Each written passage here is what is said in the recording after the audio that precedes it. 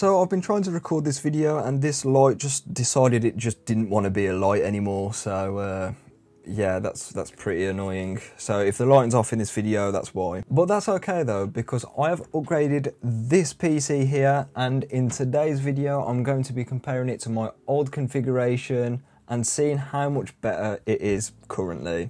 And spoiler alert, it's a lot better. I briefly covered some performance benchmarks in the previous video which I made on this upgrade which you can watch up here or there and I'd recommend watching this video for some context.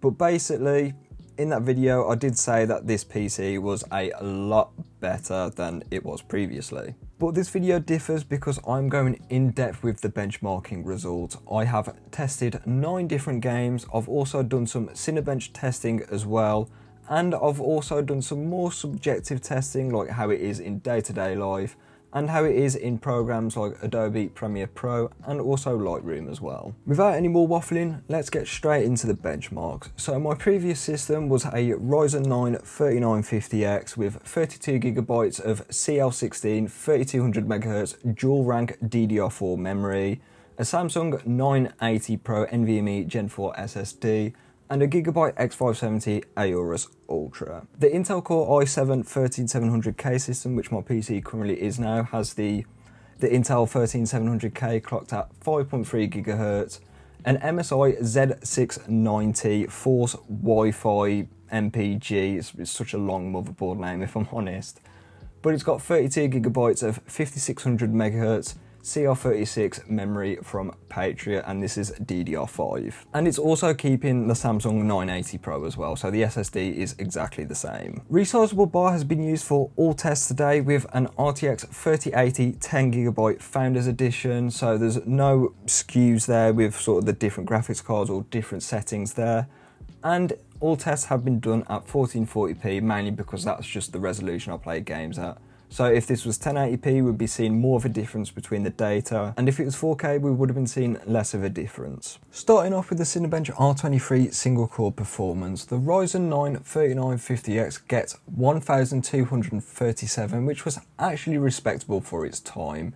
It's about on par with Intel's 7th gen chips, and this was when AMD was trying to catch up to Intel, so this is pretty impressive, especially for the time. The 13700K achieved a massive 1957 here, and this is a testament to Raptor Lake's single core performance. It's absolutely incredible.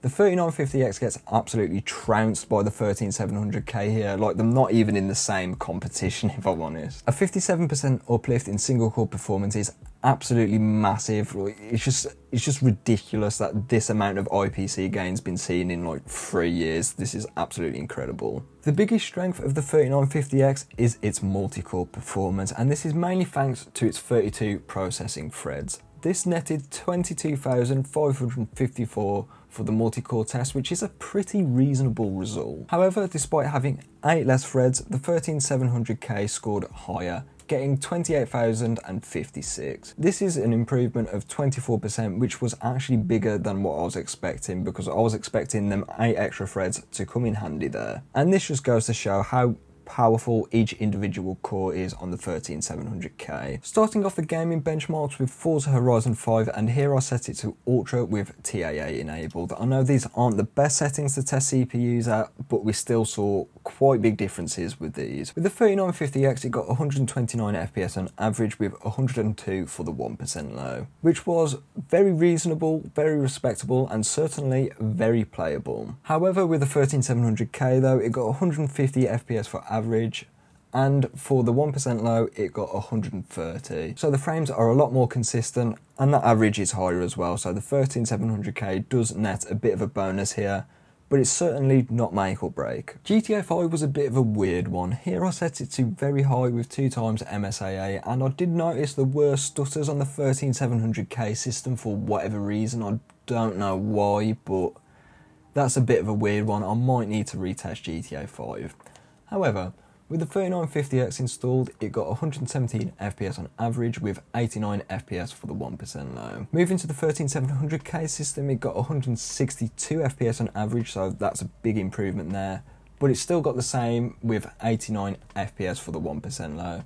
This is where the stutters were coming in. I just don't know what was going on here, and this is just a very hard one to explain. Call of Duty Modern Warfare 2 is up next, and this game really doesn't care what CPU you've got. However, setting it to the Ultra preset, we do see a slight performance uplift with the 13700K, only going up to 10 FPS to 105 FPS, and the 1% low only went up by 2 FPS. Yet again, as we've seen from previous benchmarking results, Modern Warfare 2 just really doesn't care what CPU you've got, it's a very GPU dependent game. Speaking of GPU dependent games, F122 is up next. Here I set it to the Ultra preset, but I did turn ray tracing off as well to make it a bit more CPU bound. The 3950X scored 148 FPS for the average and 102 FPS for the 1% low.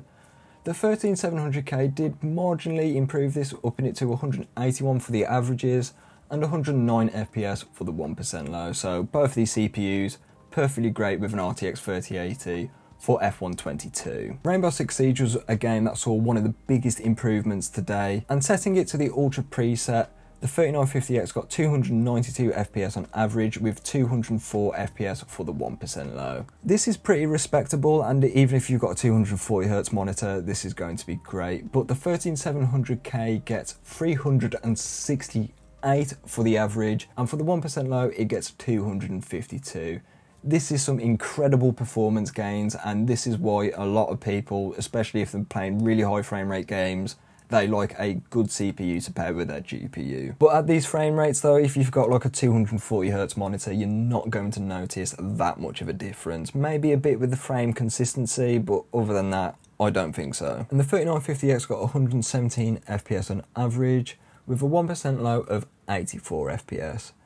The 13700K boosts the averages by 30 FPS going up to 147 FPS and the 1% lows have also gone up by 19 to 103 FPS. The game felt a lot smoother as always with the 13700K and you're losing a bit of performance if I'm honest with the 3950X. The Cyberpunk figures actually did surprise me today and setting it here to ultra with no ray tracing again the 3950X got 71 FPS on average with 58 FPS for the 1% low.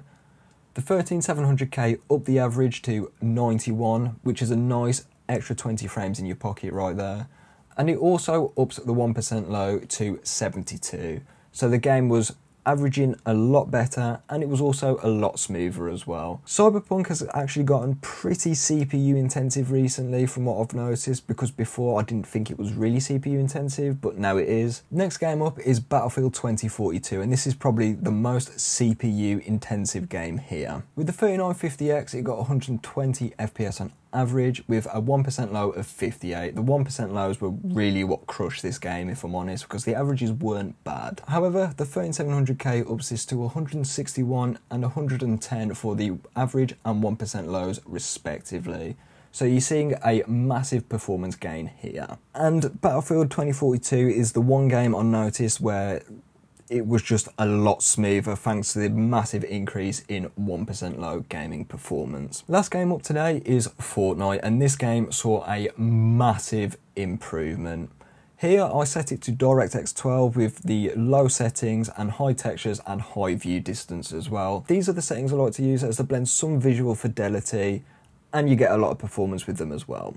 With that being said, the 3950X got 218 FPS on average with 101 for the 1% low, but the 13700K absolutely trounces it here, getting 345 for the average frame rate and 221 for the 1% low. So the 1% lows have more than doubled here, which is absolutely insane. Looking at the performance of the nine games tested today, and we see every game increased both their average frame rates and their 1% lows. Performance with the 3950X wasn't terrible if I'm honest, it was certainly playable, although it did have a performance deficit to the 13700K of 31 and 35% for the averages and 1% lows respectively. That is a lot of performance to be leaving on the table because this is just an absolutely huge margin. It's probably a bigger margin than upgrading to the next tier of GPU. That's, that's how much performance was being left on the table here. It was good to see the higher average frame rates. This is always good because who doesn't like higher frame rates?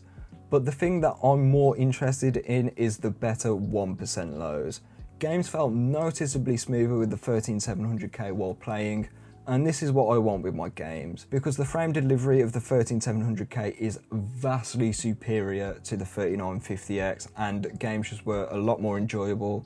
And I felt that I could actually play games like Battlefield 2042 a lot better because the input just felt a lot smoother. It's kind of hard to explain, but you might be getting what I'm at here. And this is just one of the weak points of older Ryzen CPUs. The frame consistency with them wasn't exactly the best, but then again, as I've said, they are still very playable. And it's not just the gaming performance that has been improved as well. Applications like Adobe Premiere Pro are running a lot better with the 13700K. The IPC has been vastly improved with the 13700K because it's like 51% better or something ridiculous like that and it's also got an integrated GPU. The quick sync function on Intel integrated GPUs is just simply amazing, especially if you're a video editor, it's very useful. When my 3950X was stuttering and just hitching in Premiere Pro, my 13700K has been flawless in this regard. And even in apps like Adobe Lightroom using the spot healing tool, it's just a lot quicker with the 13700K. It's like very snappy, it's instant. Whereas with my 3950X, I was waiting for a couple of seconds